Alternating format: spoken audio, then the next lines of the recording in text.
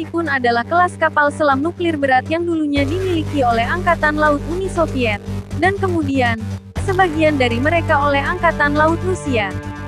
Berikut adalah beberapa informasi tentang kelas Tipun.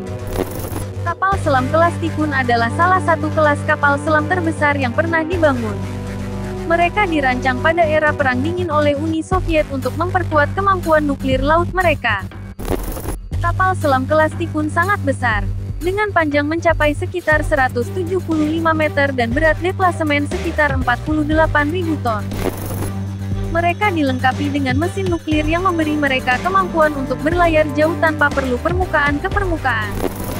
Kapal selam Tipun dilengkapi dengan berbagai jenis rudal nuklir, termasuk rudal balistik dan rudal jelajah. Mereka juga dilengkapi dengan sistem pertahanan anti kapal dan sistem pertahanan udara. Kapal selam kelas Tipun digunakan sebagai platform rudal nuklir dan digunakan untuk patroli strategis.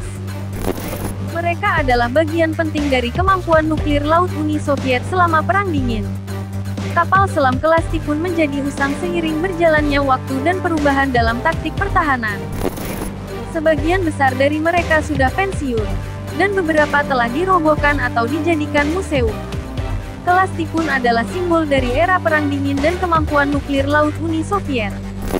Meskipun sudah tidak aktif lagi, mereka tetap merupakan kapal selam terbesar yang pernah dibangun dan memiliki tempat dalam sejarah militer laut.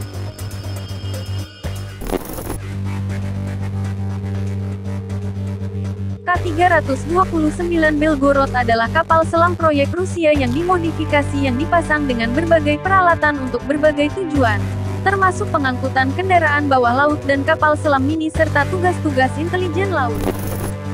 Berikut beberapa informasi tentang K-329 Belgorod.